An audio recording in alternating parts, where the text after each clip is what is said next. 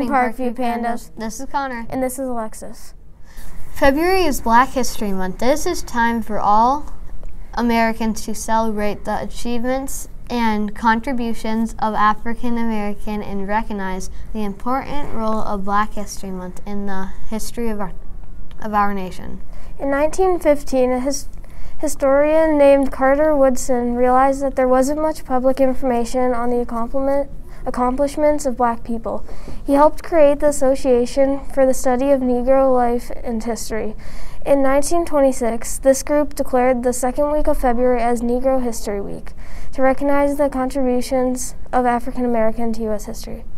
The second week in February was chosen because it includes the birthdays of Frederick Douglass and Abraham Lincoln. Douglass led the movement to the end sl slavery. President Lincoln led the United States during the Civil War, which was fought to end slavery.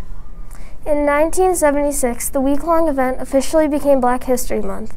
This celebration honors all black people from all periods of U.S. history, from the enslaved people first brought over from Africa in the early 17th century to African Americans living in the United States today.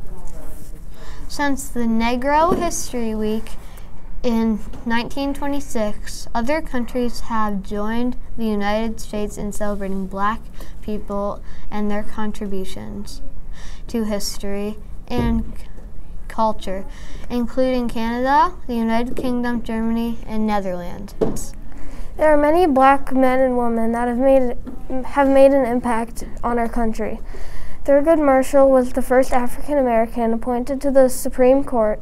Scientist George Washington Carver developed over 300 products from peanuts.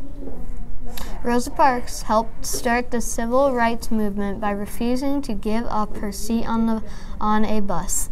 Mae Jemison was the first female African American astronaut to travel to space in 1992.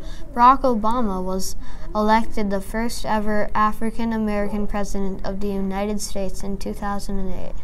There are many more notable blacks that are a part of our nation's history, so take some time and learn more about these significant men and women. Have a thankful Thursday, Parkview Pandas. We're signing off from the PNN News. Now let's all stand for the Pledge of Allegiance. I pledge allegiance to the flag of the United States of America and to the republic for which it stands, one nation, under God, indivisible, with liberty and justice for all. Bye.